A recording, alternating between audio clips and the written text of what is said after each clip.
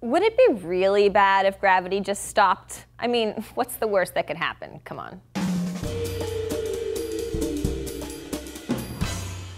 Hello everyone, Crystal here for DNews, asking important questions like, do we really need gravity? And what would happen if it just stopped? Would we explode, spin off into space, or just float along looking graceful and fluid like the astronauts on the International Space Station? Well, to a certain extent, the answer is yes. Gravity is just one of those things that we all take for granted. Breathing, death, taxes, and gravity. All important, all inevitable. I'm sure just the word gravity evokes some distant memories of apple trees, guys in gray wigs, and names of sciencey people you remember being important, like Galileo, Newton, and Einstein. But pop quiz, what is gravity?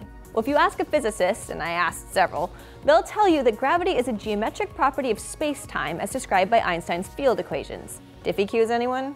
Well, that whole Newtonian F equals G times M1, M2 over R squared thing is just childish simplification. Okay, so what does that mean for us? Well, gravity is the weakest of the four fundamental forces of nature, but gravity and electromagnetism are the big ones acting at scales relevant to human experience. We experience gravity as a force that keeps us accelerating towards the most massive body in our vicinity. In our case, that's the Earth. In the Earth's case, that's the Sun. So scale is really important when we answer this question. If gravity suddenly stopped, humans would be barely inconvenienced. Firstly, it would be hard for us to move around given that we would have nothing to push against. Newton's laws of motion and action-reaction would still totally be in control, so object in motion would stay that way, and vice versa. I feel compelled to bring up the unrealistic fate of George Clooney's character in the movie Gravity, but honestly, where did the filmmakers think that that force that sent him floating away from Sandra Bullock came from anyway? Epic physics fail. We know humans can live through the absence of gravity because astronauts experience something similar all the time, so that's not a problem. But what we can't live without is air.